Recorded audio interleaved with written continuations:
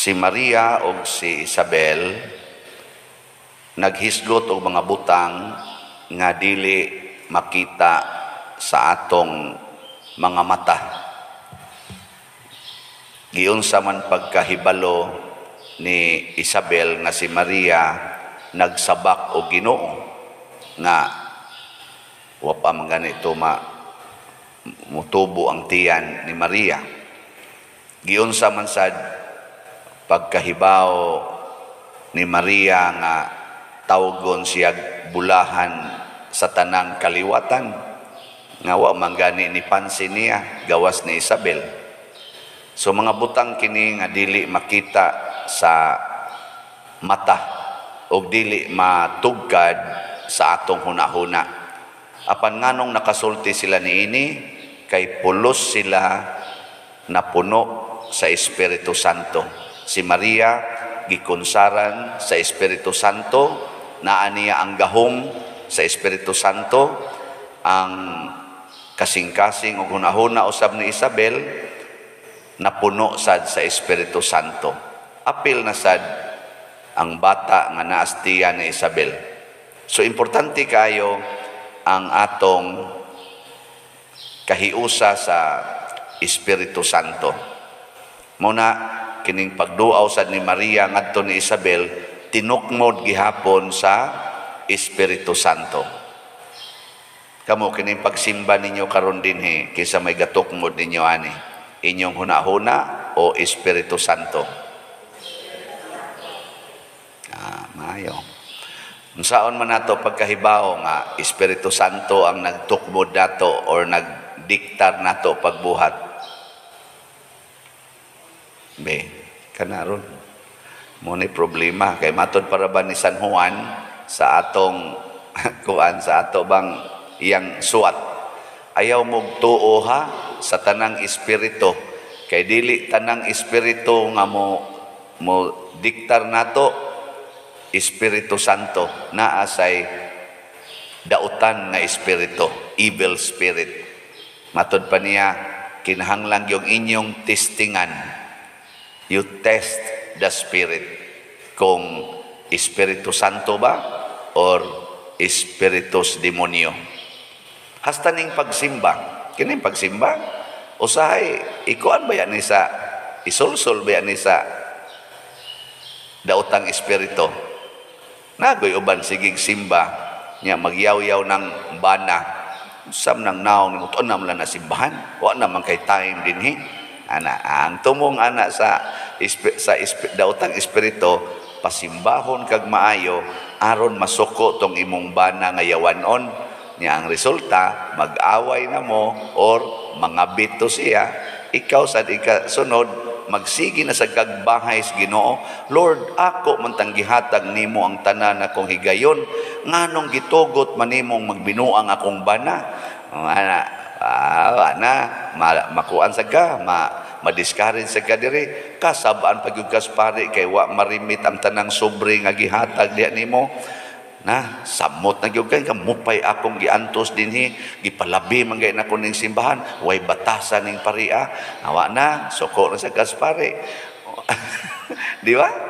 Or masawayan ka sa mga ubang mga organisasyon dinhi nga dili sad nimo ka partido ana nya to apay imong banang magyaw-yaw kay wa na kay time para niya. Magbantay tani kani atong pagsimba. Bantay ta. Na usahay kanang kadasig nato nga magrosaryo gyud kada adlaw. Usahay tinukmod baya na sa kuan evil spirit? Purting makaluhod hala rosaryo gyud rosaryo. Nyag naa gani siya mga kaubas kinabuhi nga di mo rosaryo masuko dayon. Nga naong mabungbuang dako di mo sabata di mo sabat ana so sige nakagpanaway kay di sila kamaong dili magdebosyon sa rosaryo, di ba? Oh, bantay tana. Eh karon unsaon man pagtesting, giunsa man pagsiguro ni Maria og ni Isabel nga ang Espiritu Santo maogyoy nagdiktar nila. Una, matod pas unang pagbasa, kinahanglan nga makakita mo nga naa taliwala kaninyo ang dako ug santos sa Israel.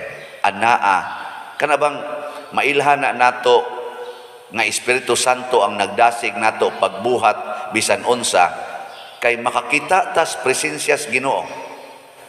Makita nato ang iyang presensya. Dili ang atong presensya lang, dili ang presensya lang anang imong tupad or kana mga tao. Ang Ginoo gyud atong makita. Oh, kanang imong pagpanglaba, diya sa inyong balay, kung ang nagsugo ang Espiritu Santo, makita nimo ang Ginoo diya sa imong pagpanglaba. Kanang paglungag, kanang pagpanglimpyo, makita nimo diha ang Ginoo. Nya kamoron sa inyong pagsimba nakita ninyo ang Ginoo o Father Siano ra. Ah, magbantay tani. Kay usahay, kusog, kay tang musimba, basta nakauyon tas pari. Pero wa na kita kauyon, hala, ngita, og laing simbahan. Kana, tinukmod ka sa evil spirit. Nganong magpili man kag misa, magpili man kag simbahan. Nga naman, kay wa nimo ang Espiritu Santo, nag-agad lang kas imong makita, nag-agad kas kalibutanon nga inspiration, dili inner inspiration. Oh, na bantay-bantay tana. Bebe, pangutan ako no na imong tupad ina Espiritu Santo ang naggiya nimo. Ika no, ina Espiritu Santo ang nagmando nimo karon.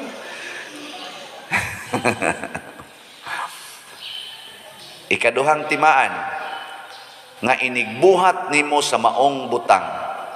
Way kahadlok, way kabalaka, kalipay ang naa diha. Lipay gyud. Inigbuhat imong malipayon ka.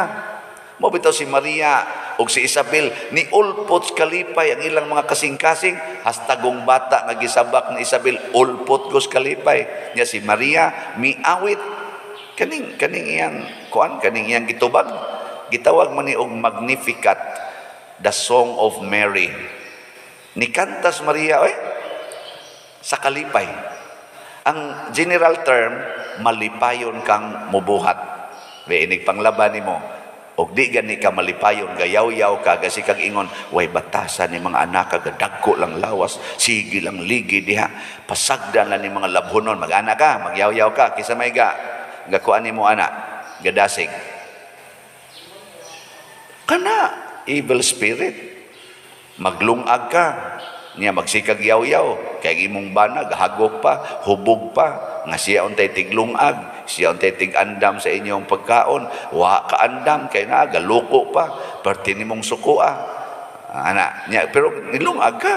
Unsa may gakuan nimo ana? Evil spirit. Ana.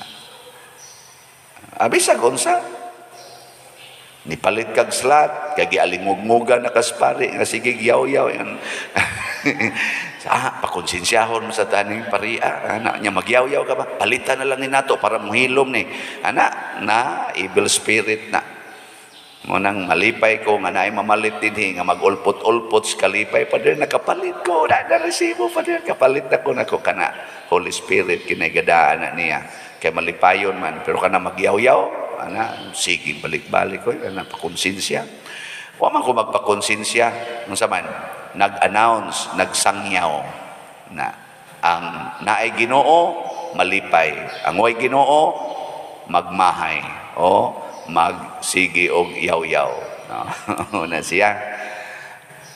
Mo ha primero makakita ka Ginoo sunod malipay ang ikatulo nga timaan sa Espiritu Santo mao nga magsigi kag daig sa Ginoo. Dili ang kaugalingon mo idaygon kun unsa may resulta sa atong gibuhat ang daygon ang Ginoo. Mao na si Maria wa siya moingon ako na gud ni. Pag ingon gyud ni Isabel nganong miduaw man ako ang inahan sa akong manunobos wa mingos Maria bitaw blessed gyud kayo ko.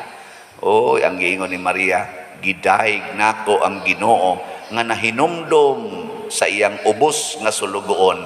Ang tan-aw ni Maria siyang kaugalingon usa ka ubos nga sulugoon dili angay daygon pero gidawat niya nga dalaygon ang Ginoo nga mihimo kaniya nga iyang ubos nga salugoon ug naghimog dagkong butang diha kaniya kanang tawo nga magsigig daig siyang kaugalingon giyawaan kana no?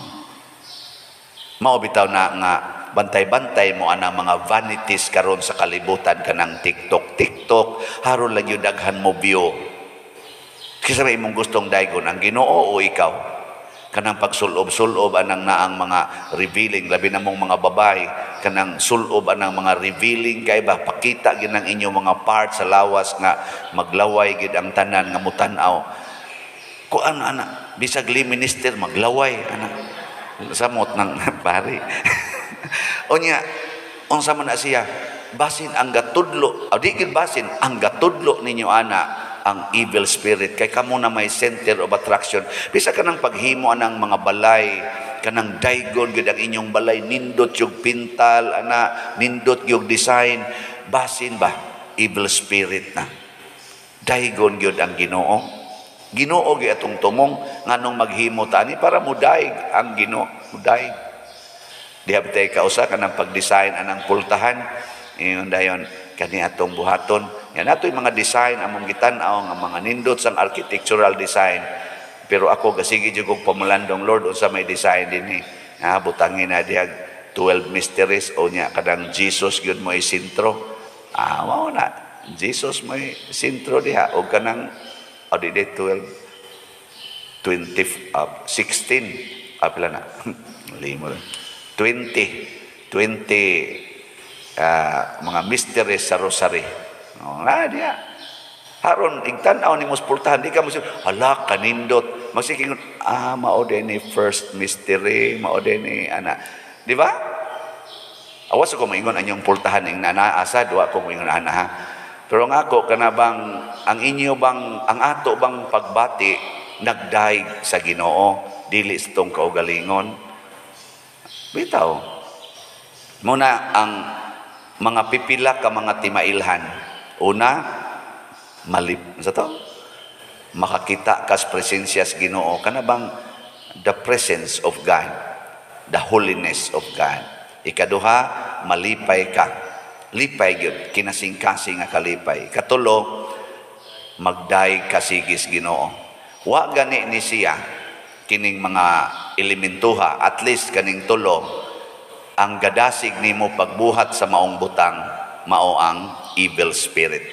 Wa ka napuno sa Espiritu Santo, napuno ka sa dautang Espiritu. Sige ka na be, lingian na imong tupad.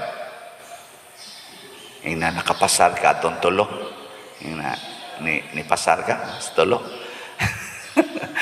Anya i-share sa ni, i-share sa ni ngadto sa inyo mga membros pamilya nga kanang imong pagsigig cellphone dai dong kinsa may nagtukmod ana evil spirit o holy spirit.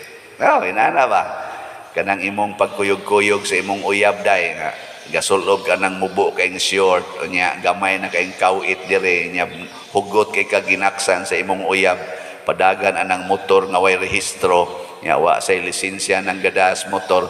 Kinsa may nagtukmod ni mo ana? Holy Spirit o evil spirit kanang mga inana lang god check up check up lang ba? Ana kining pagpamaligyag slat nako kinsa may gatukmod ani Holy Spirit o evil spirit? Oh mga inana god kamo na lay tubag ana. Kanang imong pagkiskis sa imong kilay kanang pagkulor nimo sa imong buhok kinsa may nagtukmod nimo ana?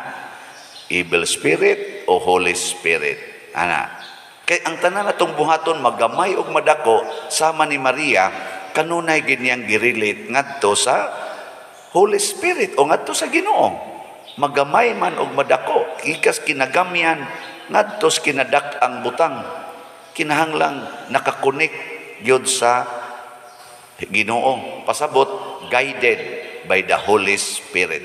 Ug diha dapita mahimog yung malumtaron ang atong kalipay ug kalinaw ug kahiusa.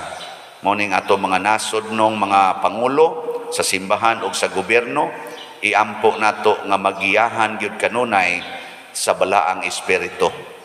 Labi na ning mga bag-o natong napili karon. Ang mga nangapildi sad sa eleksyon, iampo nato nga magiyahan sa Espiritu Santo aron ang ilang pagdawat sa maong kahimtang sa ilang kinabuhi maghatag pod nila og kalipay kabalaan makita nila ang Ginoo ang presensya sa Ginoo diha sa maong hitabo sa ilang kinabuhi. Mao sa to katong nidaog kay ang kanirabas ang nidaog sa mga kompetisyon sa maaning eleksyon malimot sa Ginoo inig hatag nag gahom diha nila patuyang lang sa buhat hangtod na lang noon maghimo na lang mga yawanon nga mga decisions kinabuhi. Munay atong iampo. Kay kun wa gani na wa gyud ang tinuod nga kalipay matod pa sa atong tubag sa Salmo unsa ti atong tubag taliwala kaninyo anaa ang dako ug santos sa Israel. Di gid na nato kalimtan nga ang Ginoo niya sa atong taliwala God is with us. Sige nindog data